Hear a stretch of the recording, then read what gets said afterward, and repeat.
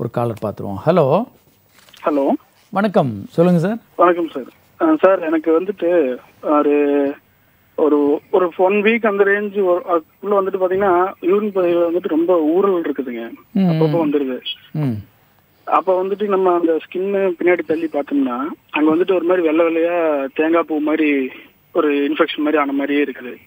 அது நல்லா வாஷ் பண்ணாலும் மறுபடியும் மறுபடியும் அது வந்துட்டே இருக்குதுங்க. சார் இப்போது உங்கள் வயசு என்ன?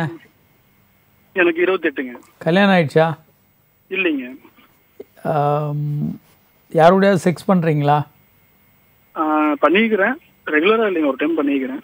சரிங்க.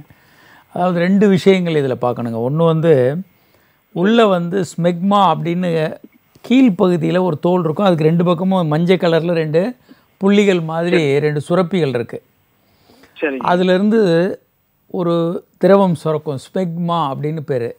ஸ்மெக்மா அப்படின்னு அதனுடைய பேர். அது காயும் போது வெள்ளையாக கொஞ்சம் படிமத்தை விட்டுட்டு போகும். இப்போது நம்ம உடம்புல வேர்க்குது சட்டையை போட்டுட்டு இருக்கோம். வேர்வை காஞ்ச பிறகு சட்டையில் ஒரு உப்பு படிகிறத பார்க்க முடியும் நம்ம.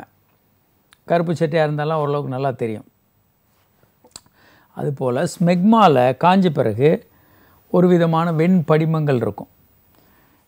தோல் முஸ்லீம்ஸ் மாதிரி இருக்கவங்களுக்கு ரொம்ப தெரியாது. ஏன்னா அது வந்து வந்து போயிடும்.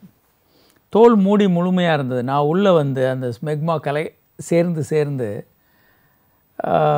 பார்க்கும்போது தெரியும். இப்போது ஒருத்தர் டெய்லி காலையில் குளிக்கும்போது அந்த இடத்துல நல்லா சோப்பு போடாமல் நல்ல தண்ணியில் கழுவணும். அந்த ஸ்மெக்மாவை கழுவி விட்டுட்டோன்னா மறுபடியும் புதிதாக அன்னைக்கு சுரக்கிறது நல்லது. அது எதுக்காக அப்படின்னா மேல் தோலும் அந்த உள்பகுதியும் தேய்ந்து உராய்ந்து தேய்ந்துடக்கூடாதுன்றதுக்காக அந்த ஸ்மெக்மா சுரக்குது. ஆனால் அது நீண்ட நாள் க்ளீன் பண்ணாமல் அப்படி தோல் மூடி அதில் உள்ள அழுக்கு சேர்ந்து இருந்ததுன்னா சில நேரங்களில் ஸ்மெக்மா வந்து சிக்கலை உண்டு பண்ணும்.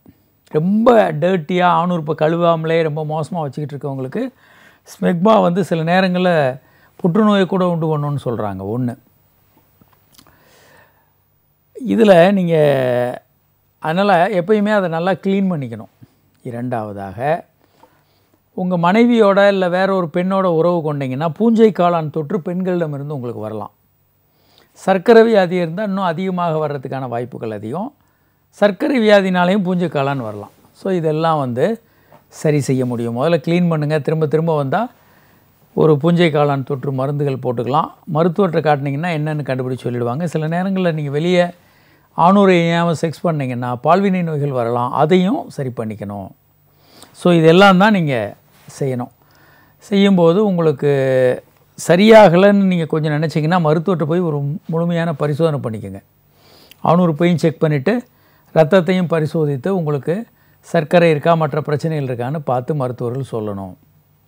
ஒரு காலர் ஹலோ என் பேர் ஹலோ? சொல்லுங்கள் சார் வணக்கம் சொல்லுங்கள் நான் தாம்பரத்துலேருந்து பேசுகிறேன் சொல்லுங்கள் சார். உங்கள் பேருங்க? என் பேர் வினோத். வினோத் சொல்லுங்கள் ஆண் குடி கொஞ்சம் வீரியம் கம்மியாக இருந்த மாதிரி இருக்கு. அது என்ன வயசு வினோத்? எனக்கு முப்பது. சரி எவ்வளோ நாளாக இப்படி நீங்கள் ஃபீல் பண்ணுறீங்க ஒரு two- ஒரு மூணு மாதம் இருக்கும். மூணு மாதமாக வீரியம் கம்மியாக இருக்குன்னு நினைக்கிறீங்க. ஆமாம் ஆம்,